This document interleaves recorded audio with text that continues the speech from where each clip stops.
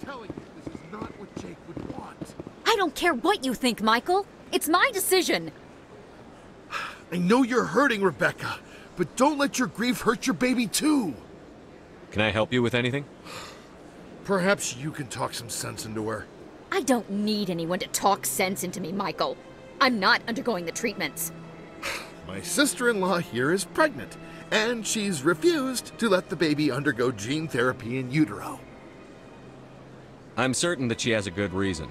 I'd like to hear both sides. My husband Jacob died from a rare heart condition several months ago. There's a chance that the baby could develop the same heart condition, but routine gene therapy can eliminate it. A very small chance, Michael. And extranet reports say the therapy could harm the child.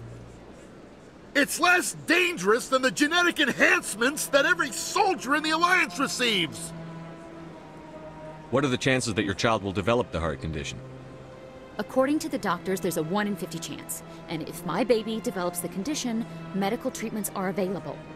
Which are nowhere near as effective as simply getting the gene therapy. What are the chances that gene therapy could hurt the baby? One in 300 at most. But extranet articles say there could still be long-term complications we don't know about. Don't you understand? If my baby is that 1 in 300, I will always wonder if I...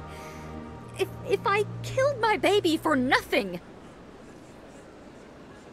It's Rebecca's child, Michael. I think you should honor her decision. Damn it, she's not choosing. She's acting blindly out of grief.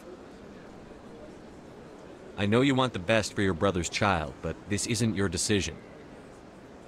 Of course it is!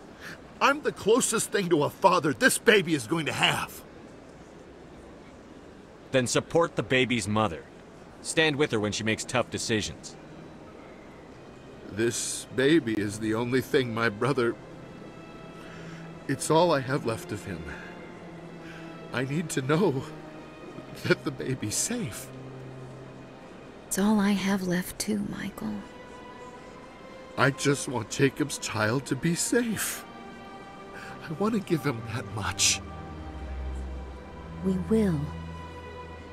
I promise. Thank you for talking with us. I appreciate it.